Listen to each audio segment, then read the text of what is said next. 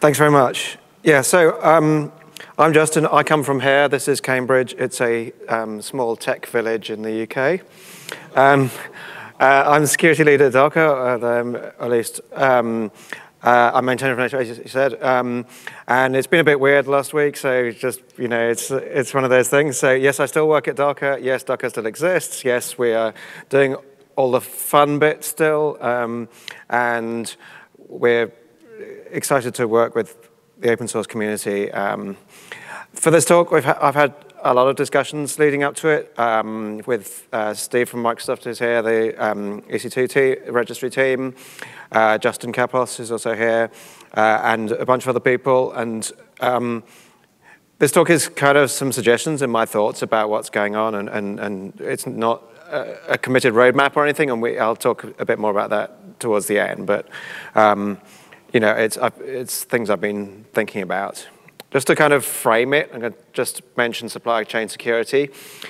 Um, hopefully some of you went to other talks and, uh, about that we've had earlier on. Um, but, you know, back in the day, security sort of seemed simpler. You know, you had, um, you had hardware firewalls and things like that. And, but if all your infrastructure is code, then you can if you can commit any kind of code, then you can change any of the infrastructure and break any kind of security guarantees you have. So attackers have realized that actually attacking the code that's shipped is really quite compelling.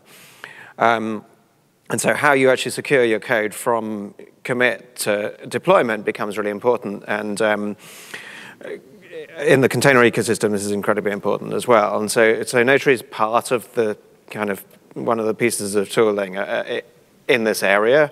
Um, there's also um, the in-toto project, which is a new sandbox project, which um, hopefully you went to some talks on as well, which is also in this area. And there's a lot of interest in this area in cloud native deployments. I just give a very, very short introduction to TUF and Notary. There's an intro session on Notary tomorrow as well, and hopefully you went, maybe you went to the TUF one. Um, originally, TUF came back from looking at the um, Linux package repositories really and what the kind of security issues with them were, um, how you could attack those and, and basically install code on people's computers that would lead to compromise. Um, so obviously things like serving up fake packages that completely not what they say, um, but other things are more complicated, saying like so things like getting someone to install an old vulnerable version of a package instead of the current one by lying about what its name is and things like that, or just telling them there are no updates and they don't need to update when you know there's been a security issue.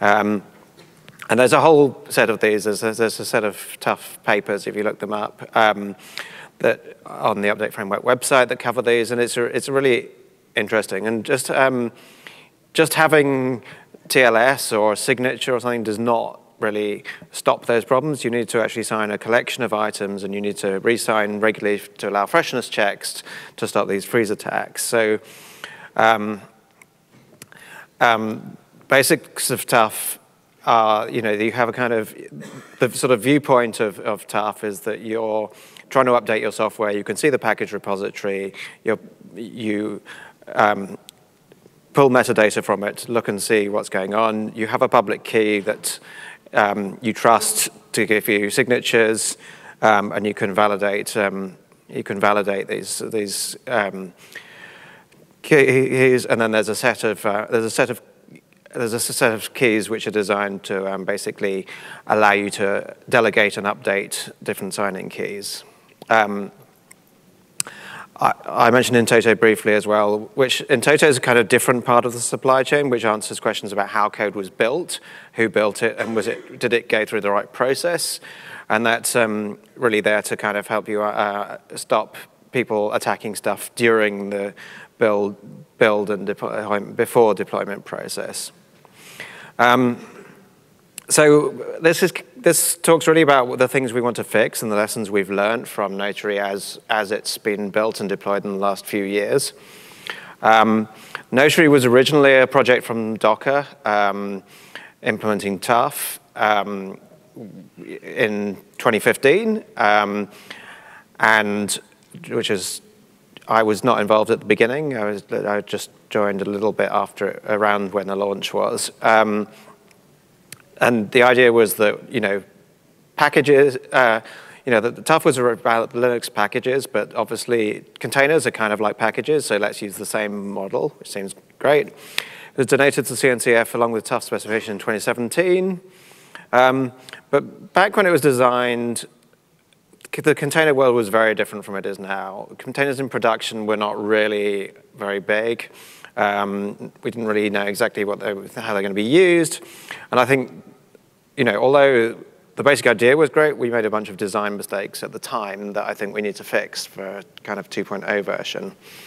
Um, some of the issues now are around um, usage. I mean, I think, you know, I, Notary is not used as much as we would like it to be. People um, find it difficult to use for various user, there's various usability issues. Um, there are some implementation and design issues that are kind of weird that we'll talk about. Um, it's difficult to understand what's going on and observe, you know, if uh, it's actually hard to see um, the metadata and what's actually going on, so it's kind of hard um, and it's not terribly modular or, or anything. So um, I want to talk about this kind of registry native idea as well. Um, uh, when, when as part of building um, Docker back in the day, we built this thing called registry, and a registry is effectively a content addressable storage mechanism. Um, it, with, with, so it's a basically you address objects by their SHA-256 hash, um, and then there's a way of adding tags. So it's, it's really similar to Git, apart from the fact that it's designed for really large sets of data. Um, we didn't make the mistake of using SHA-1 because it was a bit later on. And, um, uh, but it's conceptually, it's, it's, it's very similar design to Git. And, and it's a kind of nice, uh, it's a kind of nice model. Um, I think that um, there's a whole lot of guarantees about, I mean, one of the reasons it works is that containers are designed to be immutable objects, and immutable objects don't change their content, so addressing them by that content hash makes a lot of sense because every time you pull it, you know you're getting the right, the right bits. Um, there's a bunch of ongoing work in, in actually expanding it, not just to be container images, but other things like Helm charts and all sorts of other items and, the, and this and CNAB and uh, artifact and, and all sorts of things. So there's a real um, bunch of work around expanding the registry kind of usage use cases recently, which is really cool. Um, there's a set of um, JSON objects that are in the registry that basically describe the actual bits and how to use them. So things like the layers in a Docker image and um, bits of metadata and so on. Um, and then there's actually a hierarchical kind of set of these things. So for example, when we introduced um, support for multiple architectures in Docker, um, different, you know, different platforms like Windows and ARM containers and things like that, we added another layer of indirection so you could choose which of the, uh, which of the actual images you wanted. Um, and uh, there's a kind of um, They've become some sort of ways in which people use registries. So for example, they tend to be very archival. People don't tend to delete stuff much from registries. Um, so, because one of the advantages of, is, you know, of containers is reproducibility, and if you want to go back and see what you were running six weeks ago or six months ago, you can do it if you keep everything. Um, and then there were some kind of bugs, I think, in the implementations. So um, it wasn't even though it's content addressable, often clients, when they pull and push things, will just parse the JSON and then push back a new bit of JSON, which could, because JSON doesn't have a um, fixed form in general, sometimes will be different and change the hash, and that's really annoying. And so there's some sort of bugs in the, in the ecosystem as well. Um, but registries were built originally without a sort of signing model. I mean, um, Git acquired a signing model over time. Um, so when Notary was introduced, because there was nothing built into the registry specification, um, it was built effectively as a sidecar that sits alongside your registry, and it provides, it has a, it sits there with a separate database, um, and it gives you the signature metadata. And that model's uh, been really kind of inconvenient in many ways. For a start, um, most registries don't actually run a Notary server. So Docker Hub does and Azure does now, but um, for example, um, the AWS registries and most, most other registries don't actually run Notary. So you can't sign anything if your registry decides not to support it. And that's really weird because it means the functionality is not part of the registry. It's not native. It's not like, you know, I've signed this git commit, it's now in Git. It's like I've signed this git commit, it's in some other files, and um, which are sitting somewhere else. And that would be really inconvenient because you, you, know, you pull and push your Git repository all the time. And if you had to separately copy the signatures, it would be really, really annoying. But that's the situation we're in with, um, with Notary, where you can you pull and push images, but the signatures don't come with them, and there's actually no easy API for pulling and pushing the signatures at all. Um, so, I mean, you can pull them to check them, but you can't actually push new ones back e easily to some other endpoint. So, one of the, so I think one of the really important things is that we want native signing that's part of the in, inside the repository, and you can pull and push them. Um, so. Um,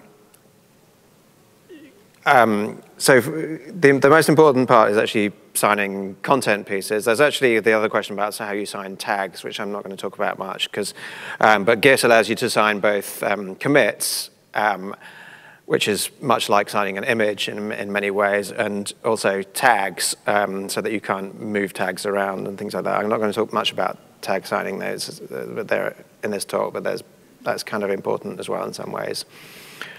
Um, as a little diversion, uh, signing JSON is kind of weird and annoying, and um, um, TUF, the TUF spec chose to use canonical JSON, um, and canonical JSON is a standardized um, format for JSON where you decide exactly how it's laid out and how you order all the keys and things like that.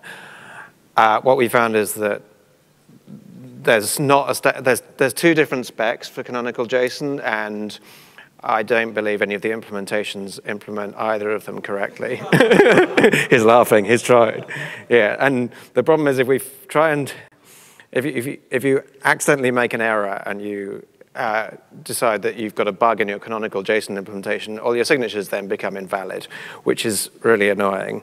Um, there's a great blog post called How Not to Sign a JSON Object from Latacora, um, which I recommend you read if you like um, this kind of problem.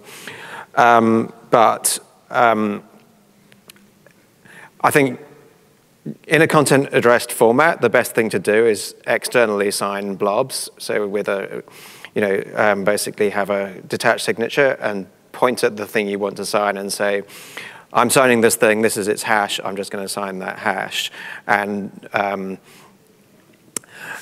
this seems to fit much better with the content address model because it means you don't have to um, mind about the canonicalization, you don't have to mind about um, anything else, you, and you just, you're signing the content hash, which is what you really want to sign, um, and um, it, it, it, you can if you have a signature as a separate object in the registry that just points at the object you're signing, then you can, for example, do things like uh, give people the hash of just the object without the signature for compatibility if they don't understand signatures, because you've got a separate thing to point at, which makes it easier for us to experiment with different signature formats. Um, detached signatures look something like this. This is kind of a kind of, uh, um, you've got a list of signatures because you might want to sign things multiple times. Uh, each of them has some kind of key ID, which tells you which key they are, which um, this is from, I mean, TUF key ID is a, a hash of um, another set of things, but um, multiples, and then the contents of the actual signature, which is just a block of signature, we're assigning the hash, and then we have a point, a normal kind of pointer that points at, in this case, an index file with this particular hash. Um, so this is kind of quite a clean model. It does mean there's an extra kind of, an extra fetch from the registry, but um, and we need to have some meta, we need to standardize some metadata so that we can put, do things like handle expiry. Fortunately, the TUF formats all include that anyway. Um, and then we need, um, with multiple, if you want multiple signatures, it's kind of easy. You can either sign at once or multiple times. You can, you can modify um, the signature later, or you can point another signature at the first signature if you want. Um, that's also, so you can kind of chain signatures if you want. Um, all those things are kind of valid strategies depending on how you want to use signatures. Um, and yeah, for backwards compatibility, you can do kind of weird things like have a manifest list that has um, points at a signature, uh, which then points at another manifest list, and so that clients are told to ignore things they don't understand, so they can ignore a signature. Um, so I think this kind of infrastructure fits quite well in the registry, and I think that we can implement that relatively straightforwardly. Uh, there's been various issues on, on the OCI repo since 2016 about signatures. Um, uh, um, I, I, think um, is not a very good place to, to define new things because their whole role is to standardize things that already exist.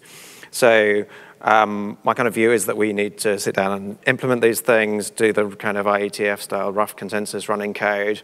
Let's get this stuff working. Let's get everyone agreed that that's what we want and actually kind of ship stuff. Um, so it's it's really um, yeah. I don't think we want to sit there and do a sort of standardization process first. We want to write some code, implement it, and check these things work, make sure they work for everyone's use cases, and so on. So that's kind of uh, sort of about how we sign things, then obviously a lot of the um, stuff in um, Notary and TUF is about signing collections of things. So TUF signs collections of things because you're signing effectively the current set of packages so that you know what goes together, um, what things you need to mirror, what names things have. Um, registries are kind of um, don't sort of natively work like this because things like, I mean, the, I mean, Docker Hub runs on S3 as a backend, and um, you know, S3 does not have consistent listings and things like that. So you know, it, it's not a, um, it's not something that uh, falls naturally out of how you implement it, but it's um, that's kind of okay because we can we can still kind of push these documents into the registry that list all, all the current contents at a particular time. So we can we can push effectively a snapshot as a data item into it. Um, so this is what um, you know this is what the manifest looked like in terms of um, implementation, in terms of um, TUF. So you basically again you just got a list of names, hashes, and, and sizes. Um, so just you know, this is what we have in our in our registry at this time. Is that this is the targets list and um, there. Um, but you kind of think, well, actually, there's something weird going on here because actually, when we have a registry, um, we don't tend to actually have. Um, you know, if you look at um, one set of files, we usually we we usually stick different versions of the same thing in one in one registry repository, um, and where we have a bunch of things that need to be there at the same time, we um, we we create them as like a containerless tree of items and uh, and address them at once. So it's like, why, why, are we doing this kind of list of everything that's in the registry? Um, and basically, the answer is that when we design Notary, we just did something really, really stupid. Um, so we made each, so things like docker.io library Debian, which is the Debian official images, we made that a single TUF repository with its own root key. And that was just a really, really, really stupid idea because that was the wrong thing to do. We should have made the whole of Docker library a TUF repository because this is the collection of things that, that the maintainers of Docker library are producing. And it's the set of stuff across that uh, that's important.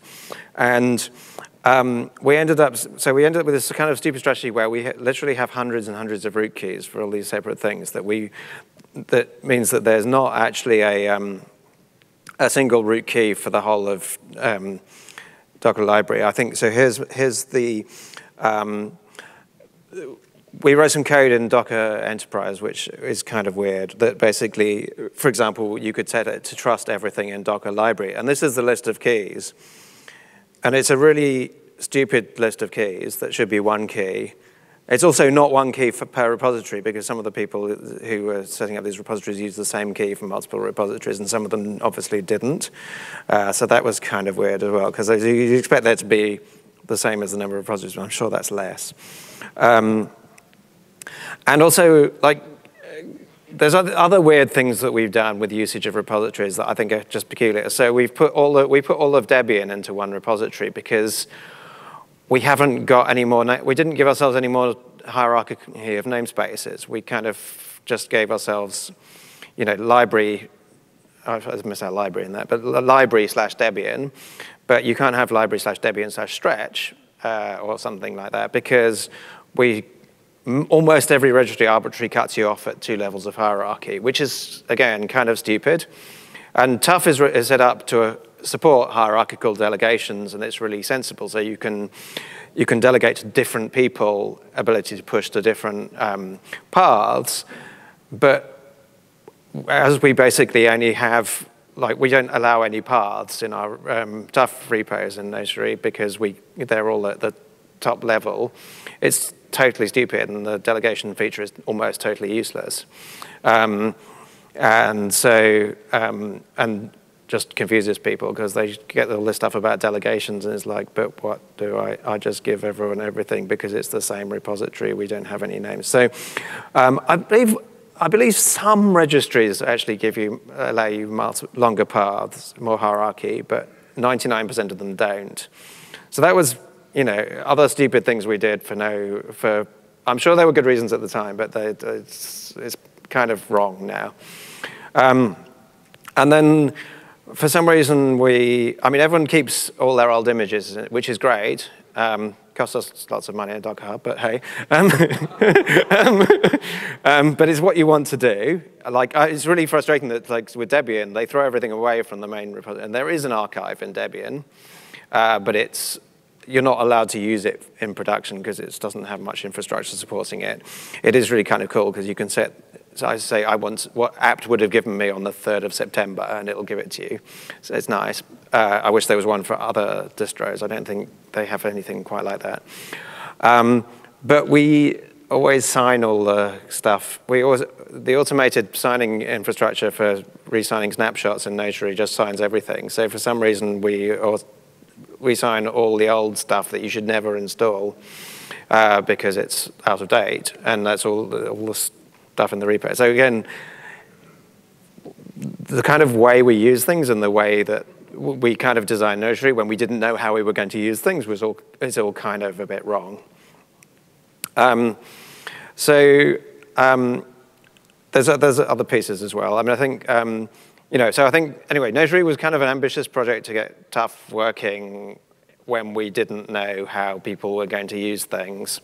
Um, and so we made some mistakes at the time, and these are totally fixable. I think um, it's really quite exciting now that I think that um, we've had a bunch of community meetings about this actually recently, and um, we, um, we talked to people, and everyone agrees that yeah, signing is great. We want to do signing. Let's get something that everyone can use that solves people's problems and um, fix some issues and, make, and actually roll this thing out so that um, it's um, used much more widely and, and um, is much, you know, at, you know, solves, solves people's problems and doesn't have kind of weird design things that are kind of weird and is native to registries and it's something that you can, that ever, everyone can um, everyone can use easily.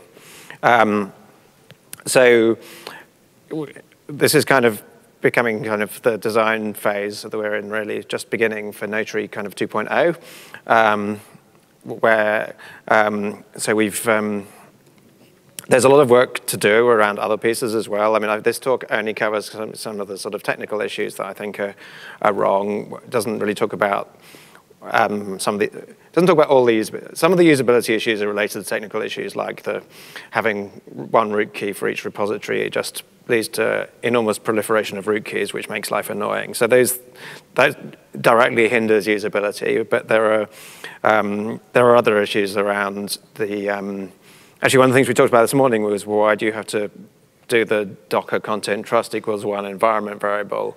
Well, that was actually just a temporary kind of hack because we were supposed to just turn it on for everything all the time. But it became clear it wasn't possible to turn it on for everything all the time because it was going to it was not going to actually work. So, um, and then we were going to just turn it on for Docker official images, and um, but then like people were saying, but we want to move our official images into a you know our local repository and still know they're the official images and still use signatures, and it's like, well, you're not going to be able to do that then, um, and so there were all these kinds of issues as well. So. Um, so there's, for example, no standard you know, way of using Notary in Kubernetes. Um, you know, there's a bunch of admission controllers that have their own kind of opinions, but um, it's not, you know, we once get to a stage where this is just integrated and everyone can just use it and it's easy and you're, um, it's, it's obvious where you get your keys from, how you get your keys, where you put your keys, what you have to check and what, you know, what the, what the model is and um, maybe and the kind of observability things, like um, it's really hard to know what's going on because for some reason we you can't easily inspect the metadata um, always. It's kind of annoyingly um, it's, it's it's annoyingly impossible when, for example, it's difficult to do anything when your if your certificate expires. That happened the other day with someone who's like trying to debug it and it's like, well, we just give certificate expiration errors. That's not very helpful. um, we can't check anything. Um, but yeah, so there's lots of little pieces of those kinds of usability pieces and just standardization that we need to um, do. Um, I have created a Notary V2 channel in the CNCF Slack as of this morning. Um, we've got a doc, where there will be some um, meeting schedule. We're planning some more meetings soon with um, probably in Seattle around the 12th of December is the current plan with um, um, you can ping me that I'm Justin Cormack on every every possible thing. If you've got questions, um, you can find me on on um, all the Slacks in the universe. Um, um, and thank you for coming to the talk. I hope you enjoyed it, and I'm sure you've all got questions. If I can't answer your questions now, I am happy to answer them. Just drop me an email, Slack, whatever, at any other point.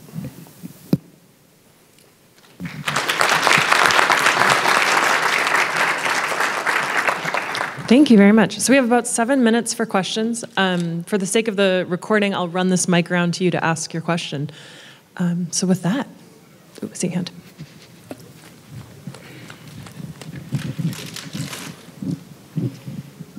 Thank you.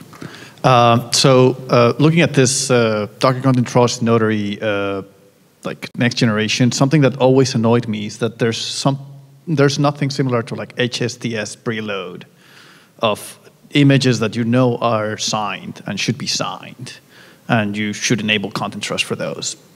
And you could uh, bake that into the client maybe, and uh, have a like higher degree of assurance of like, for example, the library images that are probably going to be signed always. Yeah, that's a, yeah, I hadn't really thought about that. That's actually, yeah, that is a good idea. Because I mean, we definitely want, you know, the Docker library images are always signed, and you, that, that was the thing that we wanted to do to turn on first was enforcing that they should always be signed. And so, yeah, I think, yeah, including image metadata that says that you should have checked the signature for this at this point would be, a, yeah, it would definitely make sense. Yeah, yeah. All right. So, so thank you. This is, I'm sure, a hard talk to give in some ways because it's always hard to talk about. You know, oops, we made a lot of mistakes. But it, it's cool that there's I a like lot making that's also. mistakes. yeah, a, a, lot of learning experiences happened uh, yes. uh, during the process. Um, and one thing that we can take offline if it's more detailed, but I definitely would be curious to talk more about the movement from having lots of root keys to having a single root key. Um, I wonder if you can talk about that and also let me just prompt this by saying have you thought about uh, doing you know using the, a top level targets role in the same way that you're planning on using this new single root role? Yes i mean that was the kind of the point. So you would yeah you yeah. I mean i think it was just that the you know the things like Docker library, Docker, Docker, the official images, we that that should be one thing with one one target's role and one. You know, this is something that you know. Um, we we maintain all of these images. They're our they're our thing. It's we own this. You know, we own that thing, and we guarantee them all. We guarantee them all equally, and that, yeah, so absolutely. At the moment, they're all just totally independent. Each one is an lives an independent life, which is kind of stupid because they're they're just uh, they are a chunk of things that you would like you would want to mirror together. Do you want to? I mean, you might want to, uh, you know, you you want to. Um, you know, we want them to be available on, you know, in different registries and be able to check the signatures on them. It's just, it, it was just, yeah, it's just a off, you know, an off by one error on the level, really. Uh, one issue that we've encountered, at least in the Docker uh, content trust model, was you're dependent on the content digest that the registry is going to give you for an image that is not necessarily consistent across multiple registry implementations. So even if you have the same content itself, uh, multiple registries will give a multiple digest for the same content, which in turn will result in multiple signatures that Notary will have to store. Yeah, I mean, I, I, kind of mentioned at the beginning that that shouldn't really be the case anymore. I mean, I think historically it was the case with the old V1 registry format before because the registries originally weren't actually content addressed.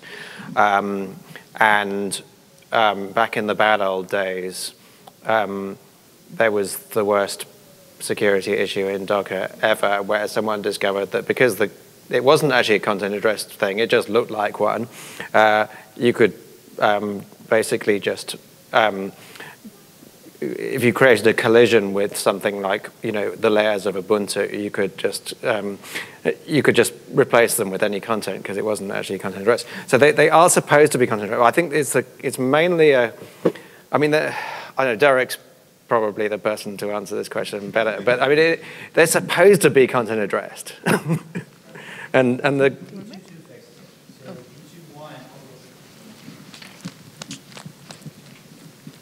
So so V22s fix that. I mean the, the, the and also the content itself that you're pushing is content addressable. The only other issue sometimes that you'll see that the digests look like they don't um, match from re registry to registry is unfortunately some of the semantics around whether you're dealing with a manifest itself and the digest of that manifest or of the manifest list that it's pointing to.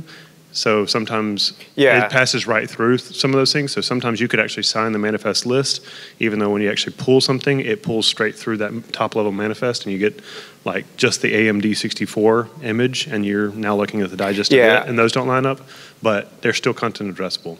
It's yeah. just there's there's some weird semantics there. That last piece will I think will change I mean, with containerd fixes that. Uh, doc, the Docker containerd integration stuff isn't kind of shipped finished yet, so Docker doesn't really natively understand manifest lists. It just redirects through them, so you get that problem when you pull with Docker.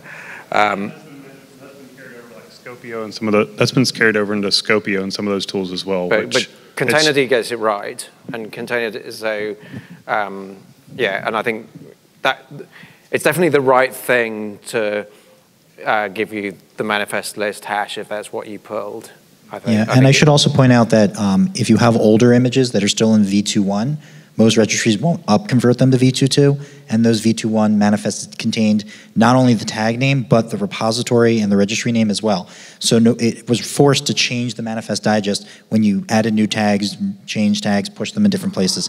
But as long as you're pushing new images created with the latest V22 schema, then there should be no changes, as long yeah. as your client isn't munging it in some way as well. Yeah, I mean, I think, and I think, yeah, they, I mean, again, a lot of it comes down to we didn't realize at the beginning how important this whole kind of immutability and hashing and static stuff actually was, and it's kind of, um, you know, it, it is really important that we fix these things across the universe of clients and things over time because it, it does just make things just annoyingly broken. And um, yeah, there's other things like, um, yeah, just kind of making sure that um, you can kind of, um, you know, the things do round trip properly with push and pull and you know, and things like that. So yeah, it's it, yeah, it, it, definitely has been frustrating, and, and I know you had have had a lot of issues with it, and, and it's not very well.